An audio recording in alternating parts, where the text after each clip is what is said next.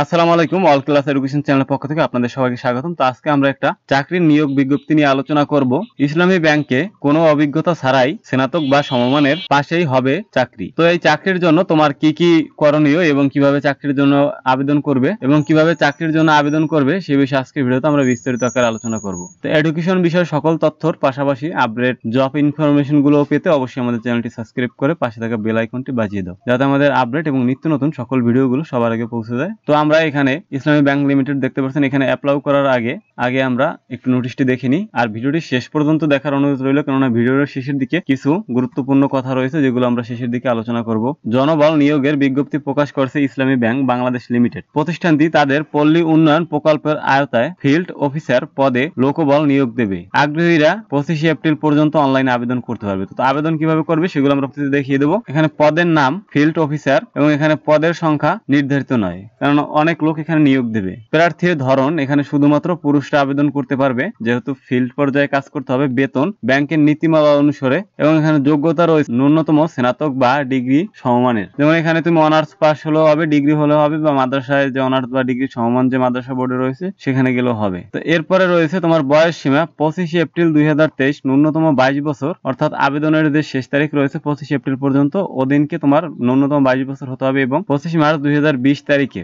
উনার্ধ তিরিশ বছর। মানে দুই হাজার বিশ সালের পঁচিশ মার্চ তোমার তিরিশ বছরের বেশি হতে পারবে না। এরপর তোমরা কীভাবে আবেদন করবে, এই আবেদনের লিঙ্কটি আমি ভিডিও ডিসক্রিপশনে দিয়ে দেবো। এখান থেকে আমরা ক্লিক করে দিতে পারি কিন্তু আবেদনের এই লিঙ্কটি আমরা ভিডিও ডিসক্রিপশনে দিয়ে দেবো। তো সেই ডিসক্রিপশন লিঙ্কে ক্লিক করলে তোমাকে এমন একটি পেজে নিয়ে আসবে, এখানে কোম্পানির কিছু কন্ডিশন রয়েছে যেগুলো তুমি পড়ে নিবে। এখানে ইংরেজিতে রয়েছে, এগুলো চাইলে তুমি, এখানে তুমি দেখতে পাচ্ছ তোমার এজ লিমিট এবং ফুল কন্ডিশন এখানে দেওয়া রয়েছে জব লোকেশন দেওয়া রয়েছে, এবং এখানে জবের জন্য কিছু কন্ডিশন দেওয়া রয়েছে, যেগুলো যদি তুমি ইংরেজিতে তোমার বুঝতে অসুবিধা হয়, সেক্ষেত্রে তুমি এবং কীভাবে আবেদন করবে, এখানে আবেদনের একটা নির্দেশনা দেওয়া রয়েছে। তো যদি তোমার ইংরেজিতে বুঝতে অসুবিধা সেক্ষেত্রে এটা তুমি কপি করে নিবে। কপি করে নেওয়ার পর এখানে তুমি গুগল ট্রান্সলেশন ট্রান্সলেশনে চলে যাবে এবং এখানে ইংলিশ টু বাংলা করে নেবে। এখানে তুমি দেখতে পারবে কীভাবে আবেদন করবে এবং পাশাপাশি এখানে তোমার কিছু কন্ডিশন শর্ত রয়েছে, সেগুলো তুমি পড়ে নিবে। এখানে নোটিশ রয়েছে যে তোমার ফিল্ড এরিয়ায় কাজ করারও মন মানসিকতা থাকতে হবে। তো এই সমস্ত নোটিশটি তুমি একবার পড়ে নিবে আবেদনের পূর্বে। শুধু আবেদন করলে যে চাকরি হবে এমন না, আগে তোমার তাদের কন্ডিশনগুলো বুঝতে হবে। এবং আবেদনের লাস্ট ডেট তুমি দেখতে পাচ্ছ পঁচিশ এপ্রিল দুই হাজার তেইশ তারিখ পর্যন্ত এবং পাবলিশ হয়েছে তেইশ তারিখ। এরপরে আমরা অ্যাপ্লাউনাতে ক্লিক করে দেবো।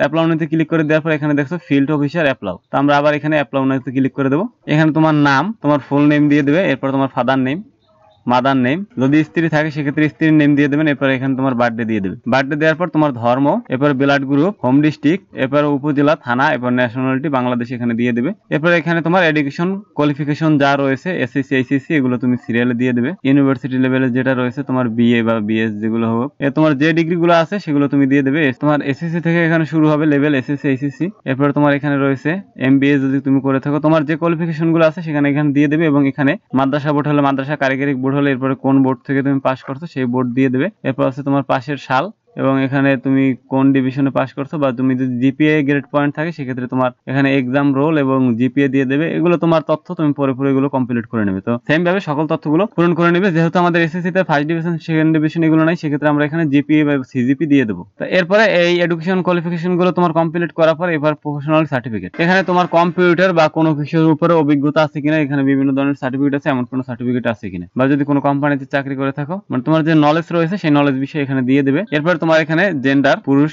এরপর মেরিট অথবা আনমেরিট যেটা হোক সেটা দিয়ে দেবে। এবার এখানে তোমার ন্যাশনাল আইডি কার্ড দিতে হবে এবং এখানে ইমেল অ্যাড্রেস এখানে তোমার ইমেল অ্যাড্রেসটা বসিয়ে দেবে, এরপরে তোমার মোবাইল নাম্বার এবং মোবাইল নাম্বার দেওয়ার পরে এখানে অপারেটর সিস্টেম হিসেবে আলাদা করে দিতে হবে, যেমন বাংলা লিঙ্ক হলে বাংলা লিঙ্ক, বাকি সংখ্যাগুলো এখানে দিতে হবে। অনলি নাম্বার এখানে তুমি দেখতে পাচ্ছ এরপর তোমার অ্যাড্রেস তোমার পার্মানেন্ট অ্যাড্রেস দিয়ে দেবে। এখানে তুমি দেখতে পাচ্ছ আমার পার্মানেন্ট অ্যাড্রেস অ্যাড হয়ে গেছে। এরপর যদি তোমার কোন সংগঠনে কাজ বাজের অভিজ্ঞতা থাকে, সেই গুলো এখানে তুমি দিয়ে দেবে। সিকিউরিটি কোম্পানি বা কোথাও যদি অভিজ্ঞতা থাকে, কোন কোম্পানিতে সেটা এখানে লিখে দেবে। এরপর আদার্স স্কিল তোমার কোনো বিষয়ে অভিজ্ঞতা থাকলে সেখানে এগুলো বসিয়ে দেবে। কম্পিউটার স্কিল টু স্কিল টুকটাক দুই চারটা দিয়ে দেবে। এরপর এখানে আপলোড ফটো এখানে তোমার জিপি আকারের তোমার পিকচার আপলোড করতে হবে। এখানে তোমার সাইজ কিন্তু তিনশো গুণ তিনশো পিক্সেল এবং অবশ্যই একশো কেবির ভিতর হবে। এরপর এটা একটা সিগনেচার তোমার, যেটা পঞ্চাশ কেবির হতে হবে এবং তিনশো ইন্টু আশি পিক্সেলের। এরপর আপলোড এসএসসি সার্টিফিকেট এই ফাইলগুলো তুমি জিপিজি জিপিইজি এবং পিএনজি আকারে তুমি আপলোড করতে পারবে এবং সকল সার্টিফিকেটগুলো তোমার দুইশো কেবির ভিতরে আপলোড করতে হবে। এরপর এসএসসি সার্টিফিকেট এরপর অনার্স সার্টিফিকেট এবং আপলোড তোমার এনআইডি কার্ডটি দেবে। আর এখানে তুমি যদি ডিগ্রি পাস করতে হবে সেক্ষেত্রে এখানে তোমার ডিগ্রির সার্টিফিকেট এরপর ইন্টারভিউর পাসওয়ার্ড এখানে তুমি চার সংখ্যার একটা